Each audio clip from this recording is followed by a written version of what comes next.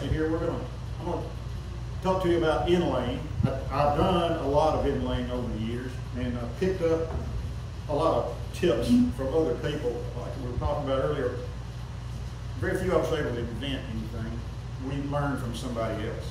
So all these, these things I'm gonna show you and talk about today, I picked up from somebody else. I didn't come up with any of them. And, uh, over time, you, you, you find out that there are things you can use and things you can't use. So I've, I've pretty well got my inlaying uh, stuff down to items that I can use. I handed you a little handout here just to give you some history. Inlaying has been around about as long as man's been around. Uh, pharaohs in the tombs, they had inlaid materials. Thing that got me, they inlaid ebony and they inlaid ivory. What did they saw with? You know, I, I can saw, try to saw ebony today with a modern saw is not easy. And, and they were somehow able to do it. We, we, in this day and time, we forget what a person can do with their hands. We're so used to equipment and machinery and things like that that we, we just don't understand what you can't, what can be done with your hands. So inlay has been around a long time. Uh, it, it reached its peak probably in uh, 15th, 16th century France under under the, the kings there. They did a lot, and still do. The, Fr- the French are still excellent inlayers, marketers. They stole that craft from the Italians. The Italians were the first. Well, the Italians stole it from the, from the um, Iranians and the Middle Easterners. They had it before the Italians had it. Those guys probably got it from, like everything else, from the Chinese. Look at Chinese inlay today, it's still top notch. So all that information came from China, came from the Middle East, came through, came through uh, Italy, up into Europe, and then eventually uh, to England and, uh, and across uh, to us. The inlay reached its peak in this country as far as furniture goes around 1800 to 1810 during the federal period. That was when they were getting away from curved, uh, like cabriole legs, and we're going with straight tapered legs like this, cleaner design. And to dress it up, they used a lot of inlay. I like that period of furniture. That's probably my favorite federal period of furniture. Uh, and like I said, that was between 1800, 1810, somewhere along there, on the East Coast. Didn't reach this part of the country till the 1820s, 1830s. We were always behind. We were the frontier. So the settlers that came out of New York, Pennsylvania especially, North Carolina, came down the Great Road into the uh, upper East Tennessee where the Cumberland Gap is. They came in that way, the cabinet makers did. And right there in that area where Tennessee, Virginia meet was a hotbed of really great cabinet makers. It's just enough distance for you to have left your apprenticeship in New York or Pennsylvania or somewhere and made it to East Tennessee and, and, and earned your money back and you, you're a free person that can set up your own shop. Uh, so that led to a whole uh, different kind of inlay, not quite as fancy as on the, on the East Coast, but a more countrified inlay that found roots in East Tennessee and in central Kentucky. When you come down the come down to the Cumberland, Cumberland Gap, you got your choice of going down into East Tennessee or going over into central Kentucky, and they went both ways. Those cabinet makers did with those skills. If you look at period furniture, which I, I like Tennessee furniture and Kentucky furniture from the 1830s, there's a lot of inlay on East Tennessee furniture. There's a lot of inlay on Kentucky furniture. There's not any inlay, hardly ever on Middle Tennessee furniture. Very seldom you ever see inlay on Middle Tennessee furniture. And I don't know why. They just didn't do it. But the people in Kentucky and East Tennessee did. And uh, during my slide presentation later, I'll show you some pieces of furniture that are typical of East Tennessee and typical of Central Kentucky. So you can see the kind of inlay they did. Wasn't quite as fancy as what you found on the uh, East Coast in the larger cities, but it, it looked good for the furniture they were building. So, you talk about inlay, the first thing you wonder is, well, what kind of tools do you need to use? Well, I brought a bunch of tools. I didn't start out with this many. Started out with very few. This is the first scratch stock I ever made. It's broken. but I made this years ago.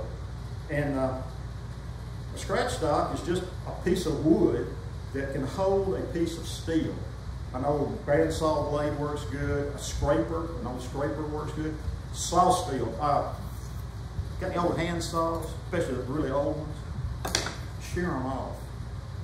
They're different thicknesses usually, but boy, there's some really good steel in here and they'll make good scrapers. So once you once you get your piece of steel, then you've got to grind it to fit the piece of stringing. We're going, we're going to talk about string inlaying first. Yes. That string inlay around the drawer from. This is string inlaying down the leg. Simple, very simple, just a straight. The uh, uh, in order to make that little groove, you're going to use a scratch stock, which was what you couldn't very well take a chisel and try to go down through there and, and lay it in. And chisels at that time were pretty healthy. You know, quarter inch wide was a small chisel. So you need, you're talking about 16th or 32nd. So you need to grind down a little piece of steel, clamp it in a, a scratch stock, something that'll hold it, and then just roll it down across the wood. And it will take shavings out and leave a nice little groove put your, put your inlay in. You can make a fancier one out of a piece of, this one's made out of a piece of aluminum, it does exactly the same thing.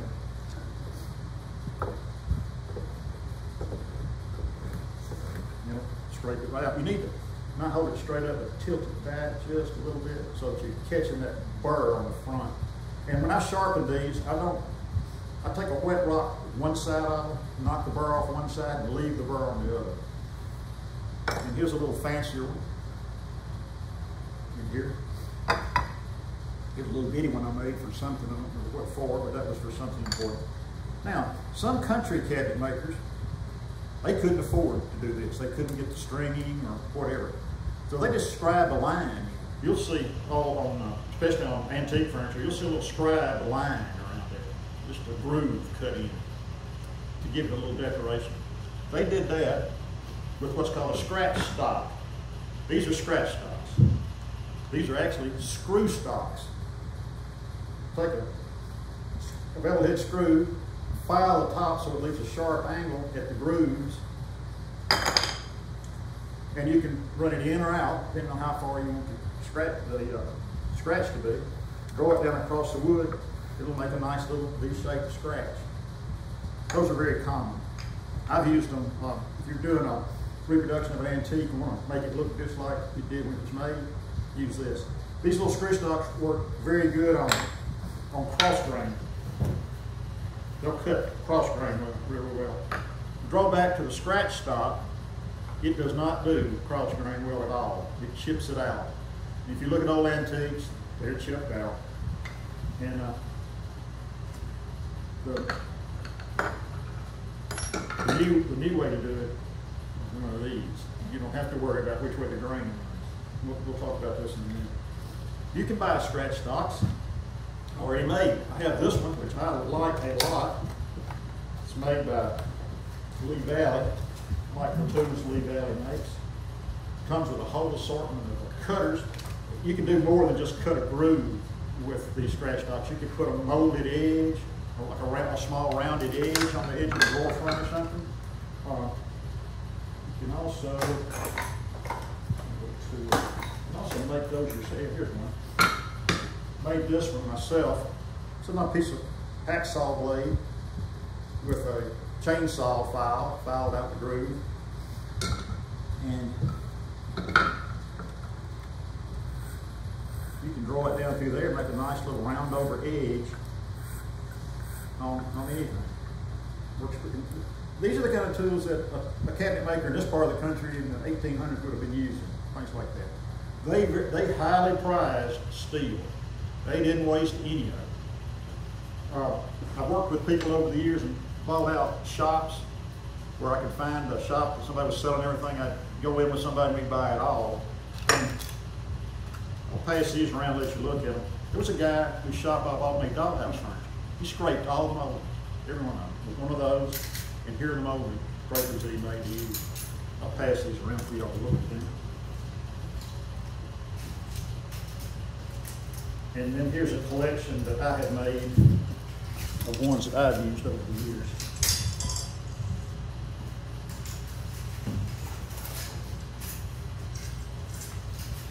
This one that Lee Valley makes, you can adjust it really, adjusts real well. It's got nice thumb holes on it. And uh, it does a really good job.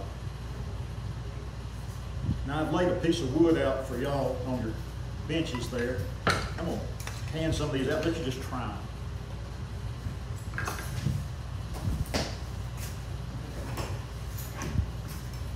We need to adjust that one. Yeah, that that's not adjusted, it's this one. And. So, once you get your, your groove, oh, let me show you these. This is another, another style of inlay cutter. That is an inlay cutter. Made out of a piece of soft steel with a hook ground on one end and a point ground on the other. I have two different ones. I have a 364th, 116th, I think, different thicknesses of steel. They work like this. You're gonna put a groove in here, clamp on a straight edge, take the hook one, and it pulls a nice little curl right off there, makes a nice groove. I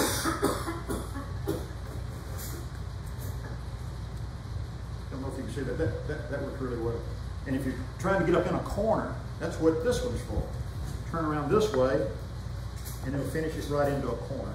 Right on the floor. Is that what you're doing? I'm sorry? You get to the point, pushing it? Yeah, just pushing it? pushing it just a little bit, like that. Or, or come in here and go down and pull it back just a little bit. You can do it either way. And that gets you right up in the corner. I've used these. Th- These work real good when you're on a leg like this. You can clamp, you can clamp your straight edge on the side of that. Drag that right down through there and cut a nice groove. This, is still better. But when I first started, I'll have to tell you, even using this, I still have to go back and use one of these hand tools every now and then. So there are things that that won't do. You can't get into certain places that you can with these. I'll pass these around, let you look at these too. And like I said earlier, you learn from everybody else. How I make these in a, in a uh, fine woodworking magazine article a number of years ago. I just copied what they did. The screw stocks. Now, could you use that screw stock to go across the ring? Yeah, the screw, the screw, the screw stock with that screw head on it cuts just fine cross grain. Then could you use Yeah, the, you the other to. one to, to uh, clean it out? Uh, yeah, you could. Groove? There's a black marker, I'll show you. You You got, you got a screw head with a groove in it, like that. yeah? And when you, you take a file, and you file the top of this, nice and flat. Got a cutting surface there, cutting surface there, cutting surface there, cutting surface there. On each one of those. And you can tell, if you look at those screw stocks, you can feel how sharp they are. That round one is for going around round items. Trying to follow a curve, you use just a piece of dowel. But it, it works really well. These are, oh, in our inlaying tools. They're two little cheap screwdrivers, round. Uh, y'all know what jeweler's files are? Know, machinists use jeweler's files, small, very delicate little files. Grobet makes the best, except they don't anymore. They don't make them in, in uh, Switzerland anymore, they make them in China. I was very disappointed, went to buy some Grobet files, picked it up, and it said Grobet, France, made in China. So what I keep an eye out for now is at garage sales or flea markets or somewhere, if you can find, where, nowadays most machinists, old machinists are selling off everything they had because their stuff's ancient. Nobody uses what machinists used to use, nobody. Uh, my grandfather ran a machine shop, and I learned to run a lathe and a milling machine, a shaper, all that sort of thing at the machine shop. Several years ago, I had a friend in Huntsville, Alabama, who had a machine shop. He did work for NASA. And uh, I went down to see his machine shop, walked in, I didn't recognize a single piece of equipment, nothing. Everything was CNC. There was all these multiple head machines. He did not have a milling machine, He did not have a lathe. Had these machines with these multiple heads. Had these guys there that were about 23 or 4 years old, sitting there at a computer screen, running everything. So, if you find a, an old machinist with a bunch of Grobet files and micrometers and, and dividers and stuff like that that they're selling, uh, there's no market for them anymore. so, so you can get them pretty cheap. I still use them. But this is a couple of files, and uh, this has a specific use. Tip of this file, or the screwdriver, I'm sorry. This is on a cross section This is the blade flat on, this is the blade. We take a jeweler's file, triangular jeweler's file, and cut a little tiny groove down in there. What you're looking for on the screwdriver is two little cutting surfaces right there, little chisels. And then you grind the side of the blade down to get to the width that you want the groove to be. And I have a, a one that's maybe, one about three sixteenths and the other is maybe a thirty-seven under that. Now what these are used for, and if we can go to the uh, photographs there,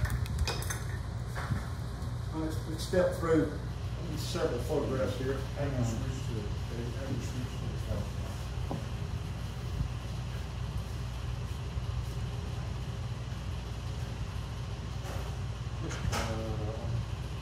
There are places when you're doing inlay that you cannot use any of these tools. The surface may be curved, so there's no flat area to put anything on. Like- Which one? Oh, keep going. Keep going. Keep going. Keep going. Keep going. Hey, look, you gotta keep going, that's not it either. Keep going. Keep going. Keep going. The chest drawers with circles in the front.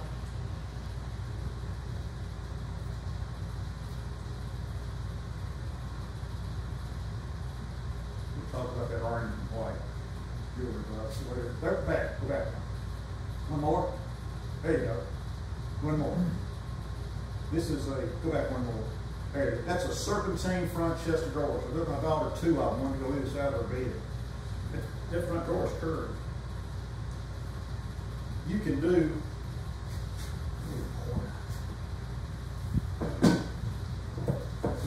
You can do, you can do this, you can do the inlay here to here, and here to here. You can't do it here. So that's on an inside curved surface, going up like this. You can't get in there with any kind of tool. But you can use these, lay it out. I have one laid out already here.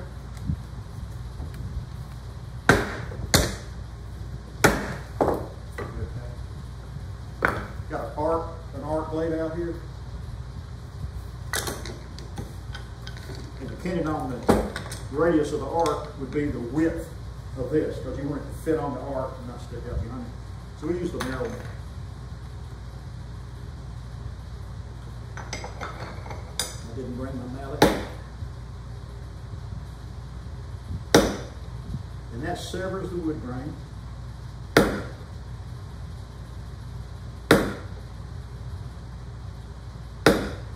Makes a nice little, little channel. What you come up with is wood surface is shear, whoops, wood surface is shear straight down. So you got, got a little bit of a lump in the bottom there. Know, what are you gonna use to get that out? Well, you need a one sixteenth or less width chisel. Japanese sell one, but they want a lot of money for it. But you can make one out of a jeweler's file. Grind a jeweler's file, this happens to be exactly one sixteenth. And you can get in here and clean that out. If that's not enough, if it's, that's too big, take a X-Acto knife, grind the back of it off into a chisel. And you can get in here get out the little chisel. Put a piece of tape on it so I know it's not not a pedestal. I don't know about y'all, but I use, but I've got a dozen X-Acto laying everywhere. And when I buy blades, I buy them by the hundred. Pack of hundred. If you're gonna go online to buy and you do a stu, a search on, on, uh, X-Acto knife blades, you'll find a bunch of them, but they're high, cost money. If you do one on craft knife blades, then they come up way cheap. And, uh, the ones I buy are made in, I don't know where they're made, they, don't have, they don't have the X-Acto name on them, they got another name on them. But I bought a box from a guy on eBay and, uh, he had them for like four dollars a box for a hundred blades. And so I said, well, I'll buy some of those. And uh, he emailed me back and he said, I've got more if you want to buy more. And I said, how many have you got? And he said, well, around a hobby shop, said, I've got 150 boxes. And so I bought 10, 10 boxes. And He said, if you buy 10 at a time, I'll sell them to you for $3 a box. So I bought a lifetime supply of, of blades for $30. And I've given boxes away and I still got boxes on it. Have you ever used the Personna brand? For what? The Personna brand that makes blades? No, no, I only use those cheap ones I've got, the only ones I ever use. But I like them at fifteen dollars a hundred. That's not, that's not a bad price. I I always like to have a good sharp blade, and I've got so many, if it ain't sharp, I throw it away. And also, a lot of times we use those little X-Acto knife blades, you try to turn a little bit of a corner, they'll snap the tip off. Don't leave them in there, because if you do, you made a big mistake. But uh, I, I, I use a lot of X-Acto knife blades. I just recently got this, this, I won this in an auction. This is, uh, Kurt's tool or something like that. It, it's good. In fact, it was at a SAPFM. It was at the SAPFM mid-year. It's pretty good. Ron, you, you ever use scalpel? I use scalpels all the time. This one, and this one. Uh, I used to use these all the time until I found out about these with the big handles on them. These are much better. But the real good one, this one. This one's made in England, and it holds a scalpel blade, and you can adjust how far it sticks out. The problem I have with these is that bear down on this, it wobbles. This thing, you can just got shut all over. Look at this on the floor, trying to get that thing to come out. Got a collet, that clamps on the blade. Hmm. Well, it holds it tight, that's for sure.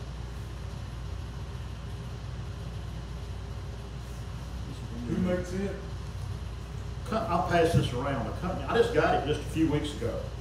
A company in England makes them. And they make them for the uh, fishing trade. There they go.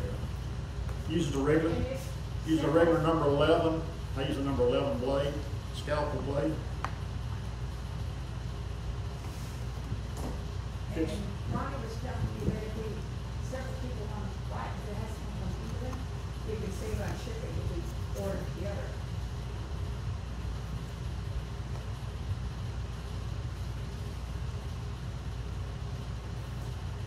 Put it on order, I like it. I wanna get one. I think they're like six or seven dollars a piece, something like that, and they come with a dozen blades. So now you've got the blade in there and you can bring it down to about like that, which makes it a whole lot better to use. Marketers, marketers in England use it. I understand the English marquetry is different than marquetry done on the coast, and that mean done in, on the continent. Anyway, I use, I use scalpels all the time. Uh, wine bottle corks, I have a lot of those to put on sharp things. Back when my daughters were younger, we'd go out to eat and be in a restaurant where they served wine, and the waiter would come back cleaning the table, I'd ask him for the wine bottle corks that he had left over. My daughters hated that. What are you asking for those for? And then I had a friend in Florida that uh, was in a wine club. And he sent me a bushel basket full of wine corks, so I've got plenty of them. Uh, so you've seen how that works. I'll pass this around so you can see it.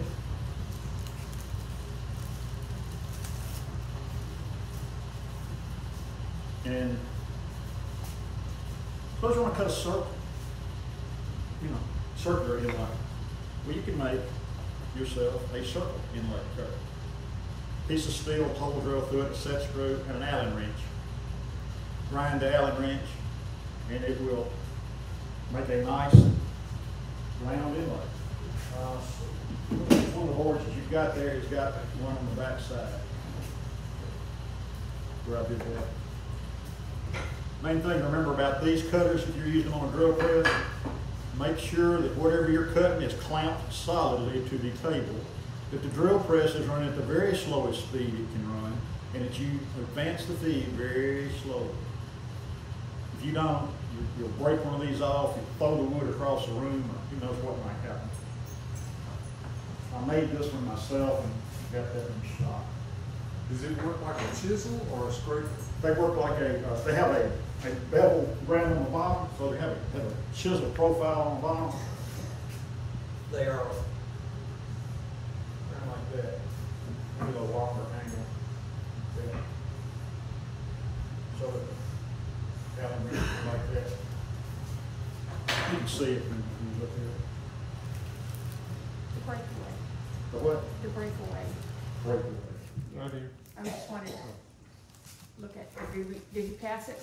I just took the container No, I or don't. bag. What breakaway? Yeah, it's passed in Do you around. have the knife? Okay, it is being passed. Oh, okay. So, once you get your groove, now that we've talked about all the ways to cut grooves, next thing you gotta do is find something to put in the groove. And, uh,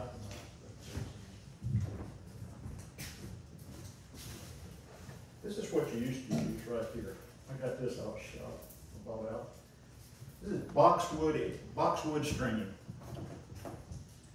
Comes in different widths and thicknesses. Boxwood is a really good wood for stringing because it's, doesn't have a lot of grain to it, very tight grain. And, uh, this is a board. May not look like a board, but it's a board. And it'll bend this way, but it won't bend this way. And when you get, this is rectangular in cross section. Some of this stuff is square in cross section. You square in cross section, you gotta make sure you're bending it the right way. So, a pair of good calipers is always good to have. This one is three sixty-fours, no, two sixty-fours.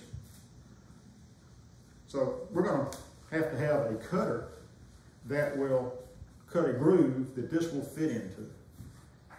And, uh, you, we've talked about how to get that with these scratch stocks. You just keep grinding it till you get the right thickness.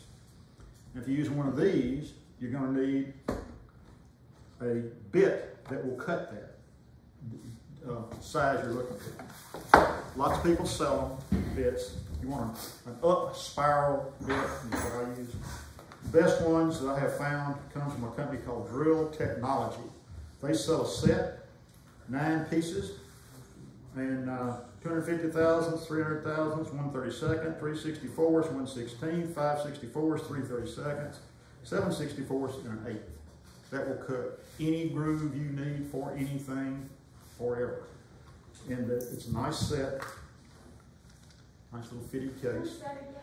I'll hand the thing out. Drill Technologies, ninety dollars for that, worth every penny. And it fits the Dremel too. I'll pass these around, let's look at them. And this is the company that got them from. Uh, that's about, that's less than half of what Stewart, Stuart McDonald sells them. And that's about half what Stewart-MacDonald gives for them. And they're just as good. So we, we're, we're gonna put this, I'm gonna go ahead, go ahead and cut a groove in this right here, using, whoops, using my Dremel tool. Some of y'all have looked at this Dremel tool, this is the newer one that they make, uh, that has the light built into it.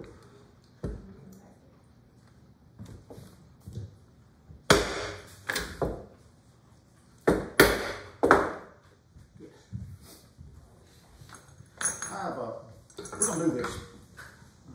Put this out here so you see what it looks like. The, uh, we're gonna do this right here. And, uh, brought in a blank one, and I've gone around it with a pencil so that you can see where the line's gonna be. And I've taken the lock that I'm going to use, and you will need to know the distance that they call between the pin center and the top of the lock itself. That's the distance from the top of your drawer to the center of the lock. Find that point first. And then this one, this lock I'm gonna use on this one, uses a quarter inch hole, uses a quarter inch hole for the key to go in. So I drill a quarter inch hole all the way through. I want the stringing to line up on the points of the diamond I'm gonna inlay in there. So that's where it'll go, right there. Now, we're ready to cut the groove for that. And if I drop the right one, I've got this thing already set up for that distance.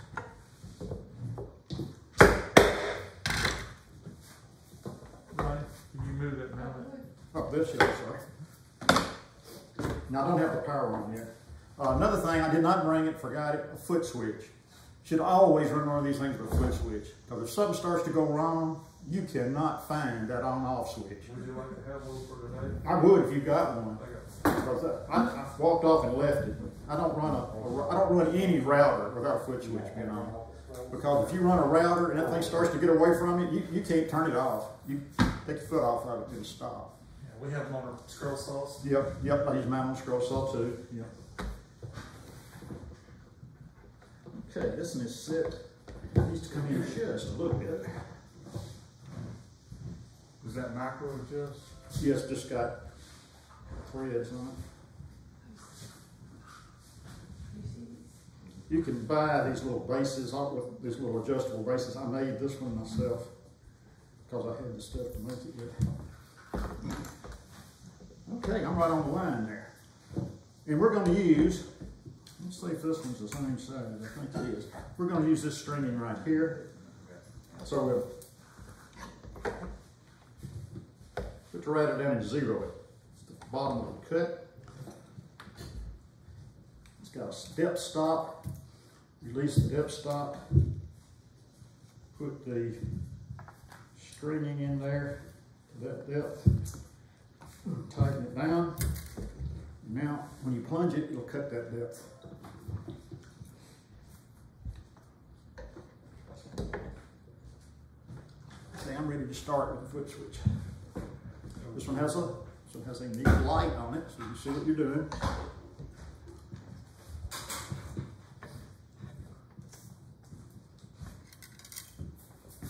I have, I, the reason I use a foot switch all the time now, I have a a three and a half horsepower plunge router bell thing. That thing got away from me and jumped across my bench, across the table saw, and landed in a chair just that quick. And every time I look at my table saw, I see those three big grooves in it. I think about that. Okay, let's see what we got here. Switch on. Oh, would help you turn it on. There you go. Okay. Now I'm gonna go ahead and.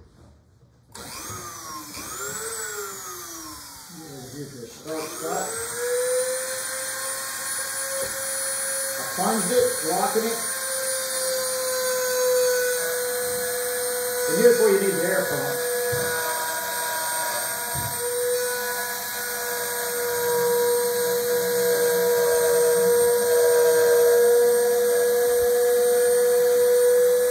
And stop it just before you get to the other line. You don't want to let it through the line. Didn't bring my bench book with me, but you can see it's got a nice groove. Now we'll turn around and do the other edges.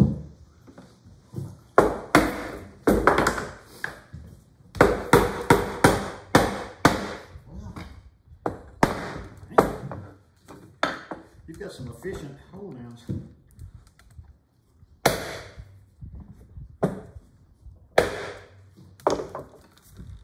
Okay, we're already plunged. I, left it plunged. I'm gonna hold the router at an angle, bring it over and drop it in.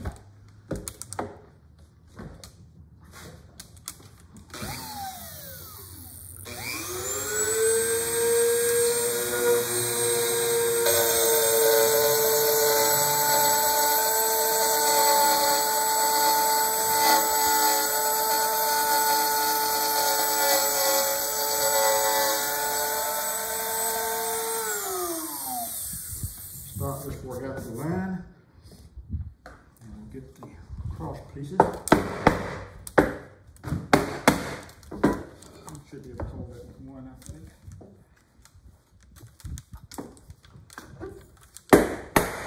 Yep. This is where this tool comes into its own, cross grain. There will be no tear out with this tool.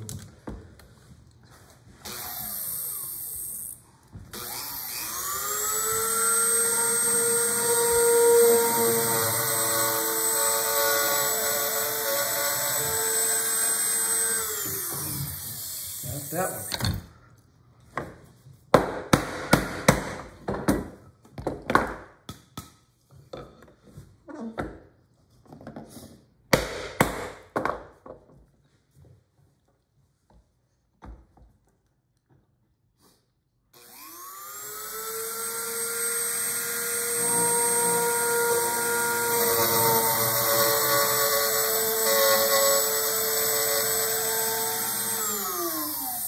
Okay, that's all you need to do.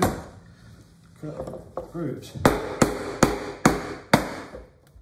Now, I'm gonna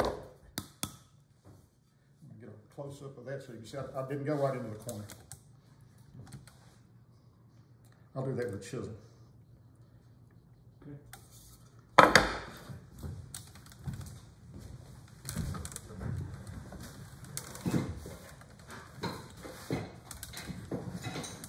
Who in here collects chisels?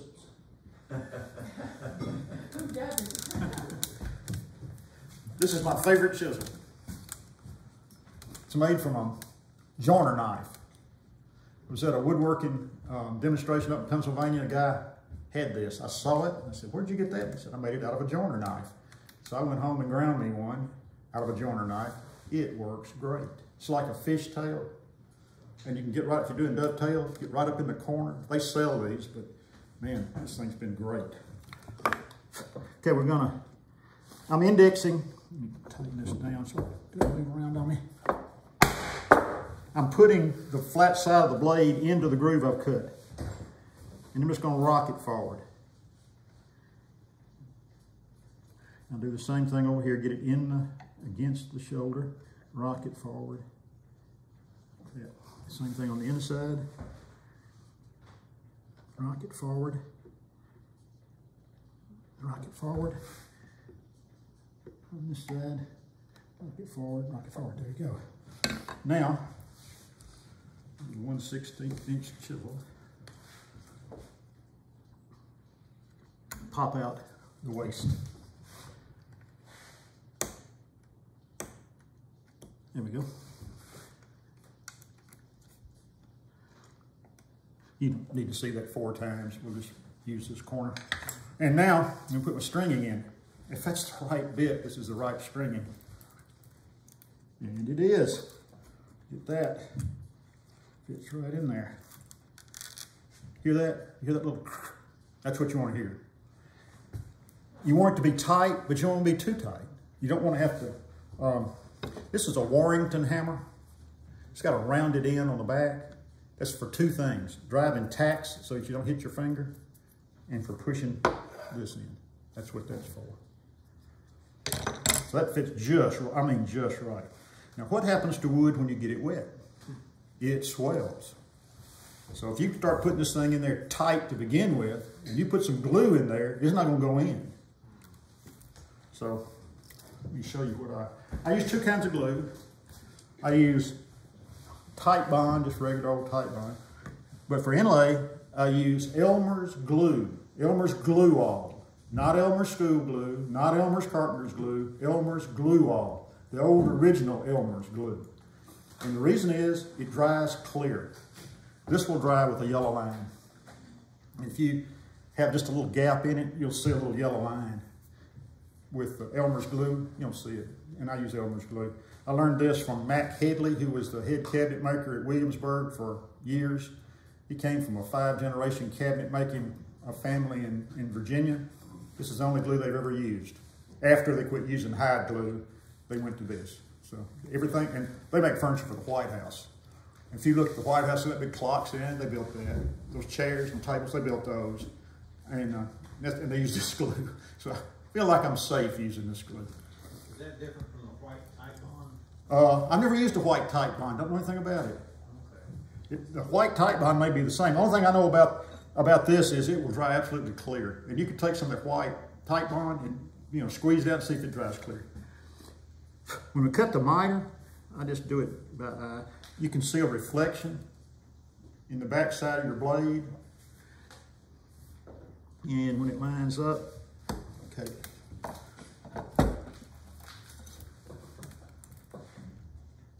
Yeah, that looks good. I'm not going, I'm not going to run this thing the whole way. Just use a piece of this. Have you tried fish glue? Oh yeah, fish glue works good. It really does. Uh, there's, a, there's a guy out on the west coast. Uh, I can't remember his name right now. Uh, anyway, he's a great marketer. Does all kind of marketing uh, inlay, and he uses fish glue. Yeah.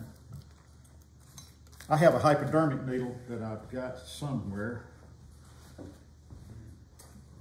but it's important for me to show you that. That uh, I've used lots of syringes for putting glue in, and the little rubber end on always came off. And I didn't like that, so in the group in Atlanta, we have a, two or three doctors.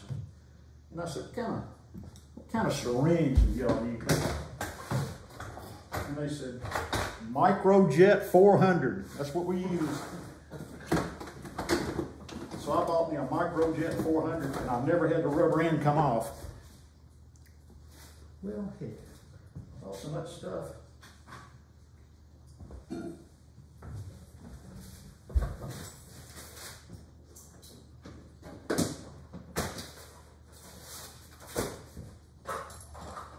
want to cross it eventually, you can show it to you, but this is just a plastic syringe. This, for what we're doing here, this little, and I, I put my glue in these little bottles. You can buy these off of eBay, they don't cost much. But I like using these because they, seem to be easier to handle than a, a big glue bottle's got such a big end, stuff gets everywhere. These have just little, little small nozzles. So lay a little in the groove, like that. Put your inlay in it. And I always try to move it a little bit like that. There we have it.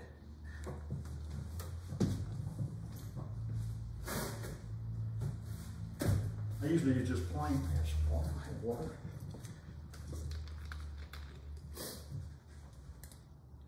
I found also that the white Elmer's glue doesn't uh, stay in the wood. You know, a lot of times when you use Titebond, you wipe it off, but it's still there.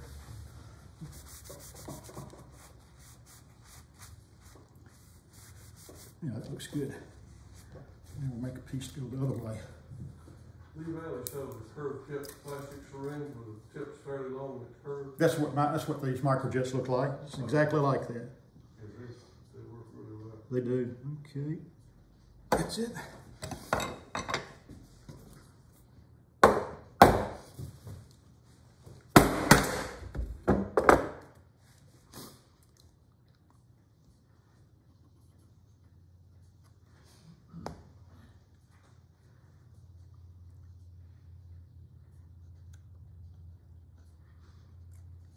You know what? This thing fits tighter on the cross grain.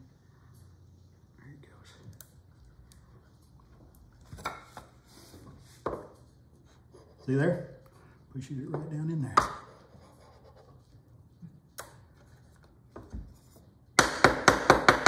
I'm not above hitting it with a hammer, spread the wood out a little bit.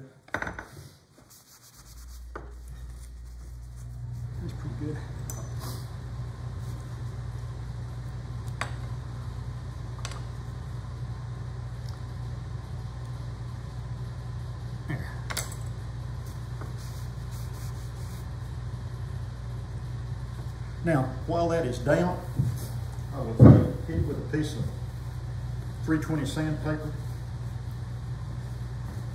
Get a little dust so it can go in there.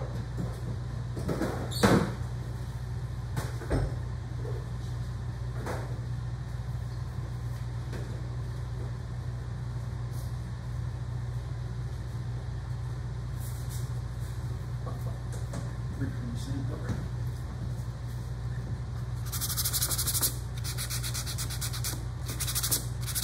Right, There we go. Now, I will not let that dry overnight before I sand it. And the reason is that if you go ahead and level that up now, it'll, tomorrow, that wood will be below the surface. I learned that the hard way. So you need to let it dry overnight. And then, and then level it.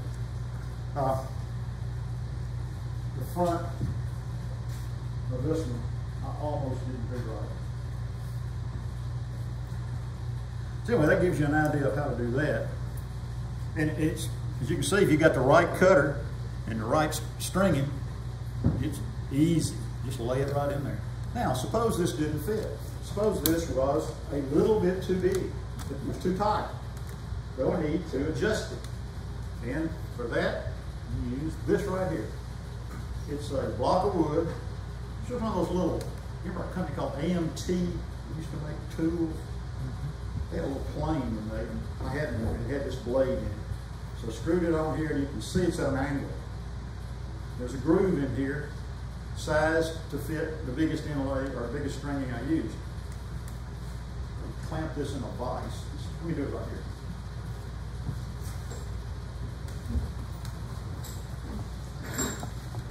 And throw it through there. If you can see it or not, it's pulling off. That's what we need for one.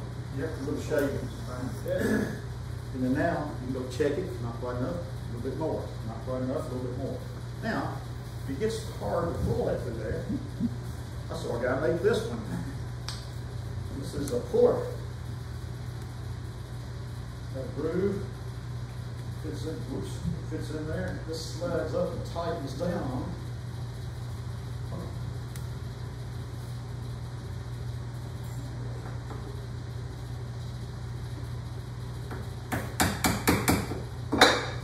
Now you got something to hold. Makes it a whole lot easier than trying to do it hand. And That'll shade it right down.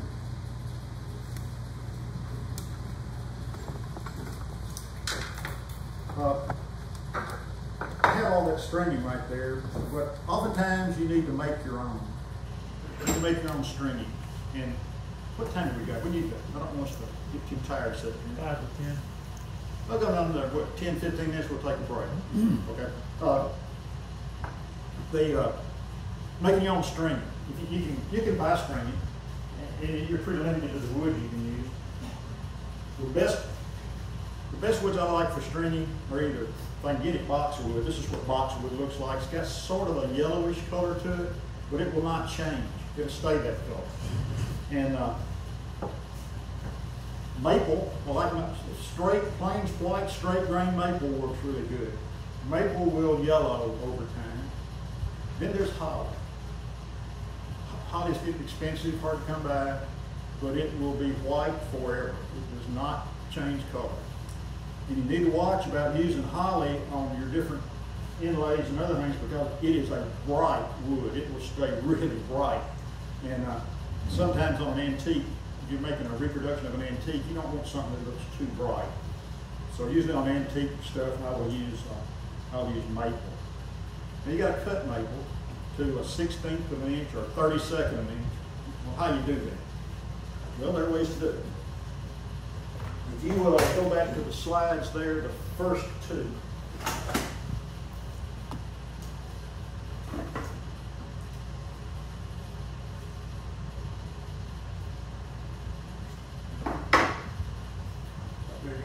Uh, I used to cut stuff on, I don't, I don't have a SawStop. If I was starting woodworking today, I'd have a SawStop, but I've worked for forty years with a Delta Unisaw. It tilts this way. The unis, the SawStop tilts that way.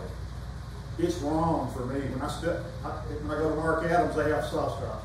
I have to stop. I have to stop and think before I do anything. Well, that blade's going the wrong way. So I, I'm used to a unisaw. That's what I've always used. All my jigs fit the unisaw. I've got a whole stack of push blocks mounted on the side of my bench. I never push anything across with my hands. I always use a push pick. I've got this long, this long, this long, all kinds. So I always use a push pick. Worst thing you can do is, I was always taught that this is insert goes on your saw. Never have your hands anywhere where the insert is. Your hand should always be away from the insert. You don't want to be in here trying to cut. So if, you, if you're safe, uh, then I think you can get by with, a, with an old saw. But if you're new and just starting out, don't know what you're doing, you better have a SawStop. You might hurt yourself you. But uh, I, I use a unisaw. That is a, that is an old model 100 Sears cast iron table saw. The first good table saw I ever had, just like this. I thought it was the greatest thing in the world because I've been using a little nine inch table saw. And those are really pretty good saws. The only bad part about them is the fences that they're good. But uh, you can find these on Craigslist, eBay, uh, uh, Facebook Marketplace. I paid $25 for that one. Made me a base for it changed the bearings out on it, cleaned it up, put a new belt on it, and I of a Dixon slider. And installed a different kind of fence on it with, a, with an aluminum, aluminum fence. And that's an old, some of those adjustable fences that they make nowadays. They make them for router tables and everything else. Can't remember. Decent there? No. Incra, Incra, Incrajig. It is an Incrajig. When Incrajig first came out, they made out of plastic. And that's, I got that in the shop, I bought that. It was still new, I never used it. I had it for years, and I said, I can use it on this saw. The modern, the modern ones, the better Incrajigs, maybe they were metal, they're better than that one. But that one works perfect, and it adjusts in 64th degree increments.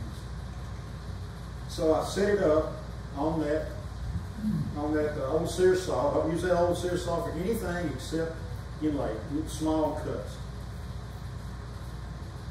I use this blade. Diablo seven and a quarter inch finish blade. These are great. They cut a sixteenth of an inch curve exactly. And I use them on my unisaw. If I'm not cutting a big piece, I'll put one of these on there. They're so cheap, you don't have to give them sharp. You throw the things away.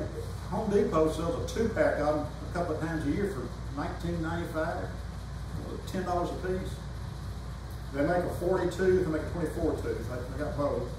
Uh, 24 tooth, you're ripping, you're going to rip along piece, 24 is better. Cross cutting, the 40 is better. But they both cut really well.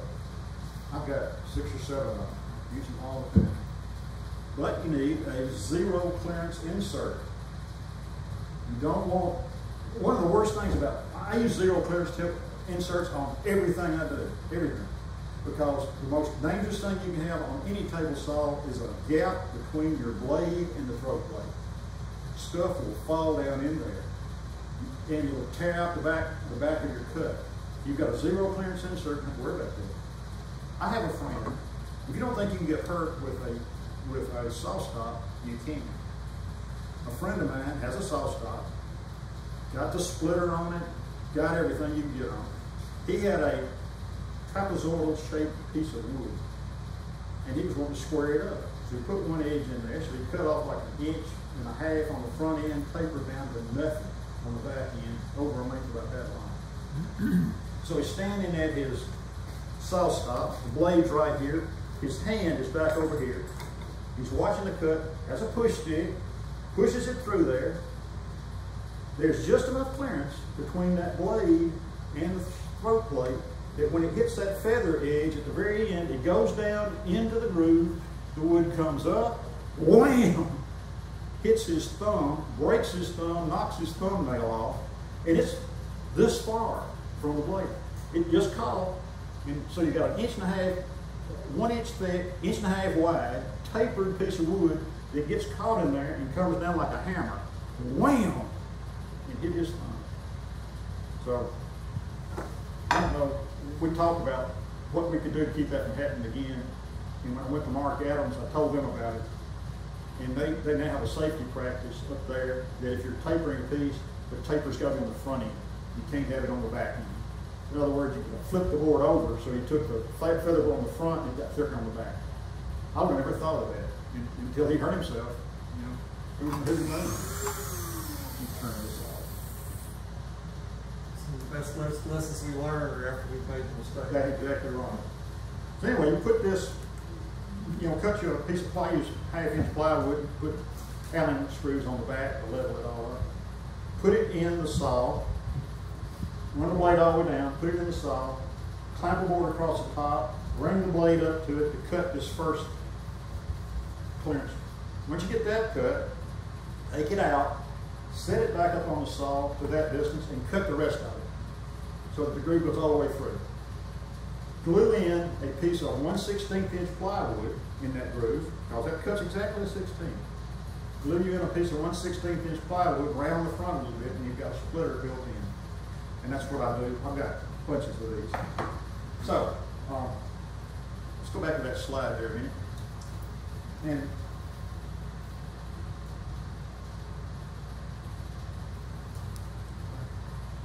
I have successfully cut, I've got some here somewhere. Yeah. I use a lot of one eighth inch square holly, that's the one eighth inch cut that on that saw. All oh, this was cut. This was cut using that setup right there. Is there one more picture? Yeah, that. And you, you can see how you can adjust that over. Now, I would take like a three quarter inch or one inch piece and rip it this thickness. Then turn it over and rip it this thickness to get the square. Now, when you're going to rip this thin piece, you need to clamp, see if I've got another picture there. I hope I do. No, don't. Uh, anyway, visualize this. This is your zero clearance insert. You've got, you're gonna cut this little thin piece off. The fence is right here. You take another piece of wood and you clamp it to the fence with the, with the strength, with the thickness of the board you're gonna cut in there under it, clamp to the fence, pull this out. So now this is the thickness of that above the surface. Bring the blade up into this. So now your blade is completely covered. You can't get your hand in, and it will hold down these little pieces across the blade so it doesn't go and tear up. So you put that little clamp on there, and you just feed them through, and they'll come out the other side. There's, there's some examples of what you, I cut those on that saw. Do you then have to resize them in your other little tool? I, I can't, oh yeah, occasionally have to do that because I'm not perfect, you know, I know it's chattering a little bit, and you do have to do that. I have gone so far as to try to bunch them together and run them through a, sander, man, you love. Hey, the sander to pick them up and, and it just didn't work. Just, just try to be as accurate as you can and use that little tool beside it. Here's another one, uh, we're talking about sizing, here's another one. Uh, we make this one out of a, uh, scroll saw blade jigsaw blade. And the blade is ground at an angle, and it works the same way. You just.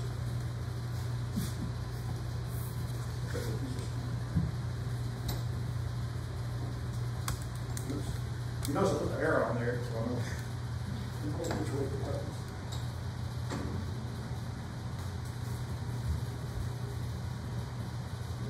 Piece of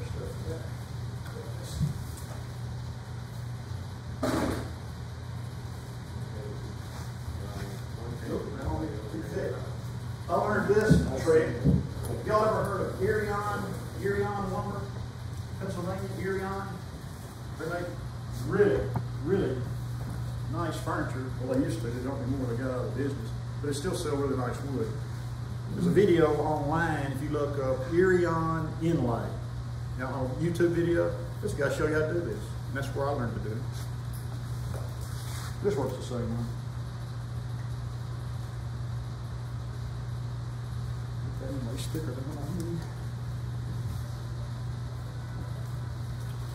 oh, fa- fancy adjustment on this. Oh, feel the back of that. Run the finger over there, that, no, you, you feel that burr? Yeah. There you go, feel it on the bottom, there it is. Yeah. Feel that burr, that's what does it cut. And it's got a slight angle to it. The burrs, what does it cut? Burr does it cut. We'll put that in there. That's about right.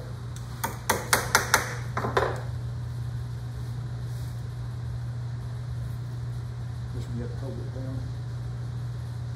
There you go. It's like a number eighty scraper. Yeah, just, it is. Leave that- Uh-huh. gotta leave Yeah, that burr Same sort of thing, leave that burr on there. And it'll just- It's putting, you can't see it, it's pulling this little fine, fine shavings off, which makes the profile of the inlay string look like this, exaggerated. And the groove you're putting in is like this. So when you put it down in there, you get a tight fit here and here. So that's another, another thing. You know, how, how much you got in there? A Piece of wood and a jigsaw blade. Or you can buy one from Lie-Nielsen, they'll sell you one. Does the same thing for about hundred eighty dollars. But I'll that that, that cabinet maker at Erie on. He just said, here's the way I size my, size my inlay.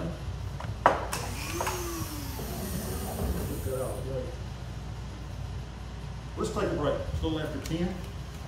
Don't want y'all to get too tired. And I need to rearrange stuff.